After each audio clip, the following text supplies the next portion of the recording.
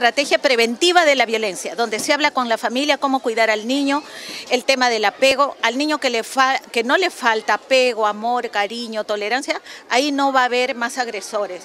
Entonces, esta como una parte preventiva se capacita todo el personal de la municipalidad para cuidar que los niños no se pierdan, que no se vayan a caer, que no vaya a haber un bozón sin tapa y, y muchas veces se accidentan y hemos tenido hasta pérdidas de vida, que no se pierdan, cuidarlos de la trata de personas.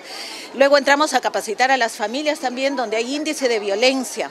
Hay un programa Te Acompañamos que también previene la violencia y acompaña a los niños en los hogares donde se ha detectado a través de los centros de emergencia mujer índices de violencia. Así es que estamos trabajando mucho más a, fondo, a fondo el tema de la prevención desde niñitos. Acabamos de venir de Florencia Mora que es el distrito donde el índice de violencia e inseguridad es el mayor.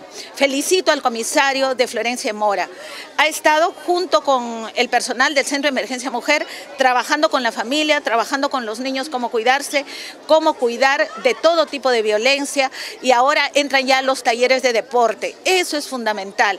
El niño que hace deporte, canta, baila, hace danzas, más ese trato en el colegio, en el hogar, allí no habrán agresores. Prevenir la cultura de la paz, de la tolerancia, del amor, del apego.